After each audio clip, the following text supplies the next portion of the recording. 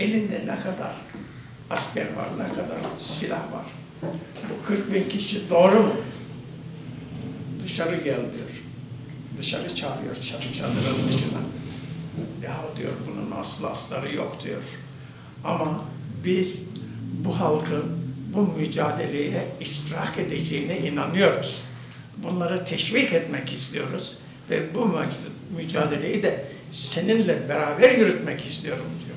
Yoksa ne şey var, 40 bin kişi var ne de bilmem.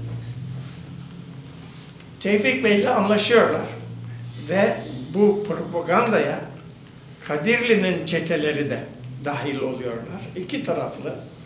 Sabahlara kadar davul çalıyorlar. Neymiş? Efendim Osman Tufan Paşa'nın ordusu geliyormuş. O sevinçten davul çalıyorlar. Efendim.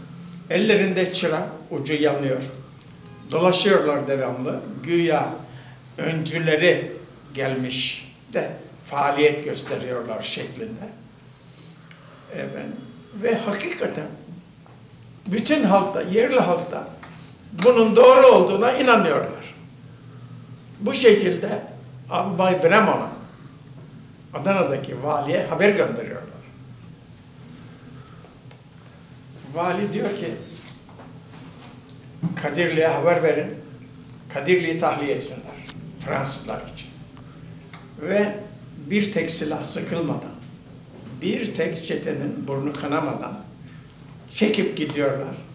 Ve bunların o zamanki karargahları da e, bir taş bina. Ben orada ilk mektebi okudum. Orayı, orayı tahliye ediyorlar ve hepsi birden çekip gidiyorlar. Kadirli bu şekilde kurtuluyor.